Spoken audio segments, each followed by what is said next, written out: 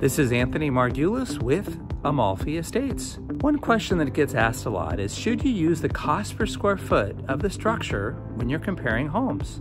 Most buyers, sellers, and agents incorrectly use price per square foot when calculating a property's value. The reality is that anytime the majority of a property's value is in the land, which happens a lot in higher end neighborhoods and older homes, you should not be using the cost per square foot for the structure. For example, if you had a tiny 1,000 square foot home on a lot, the price per square foot would be extremely high. The only two areas that we recommend in residential real estate using cost per square foot are when comparing condominiums or brand new construction homes.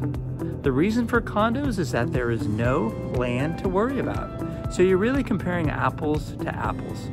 New construction cost per foot is also beneficial because you're comparing like kind, assuming the lots and locations are similar.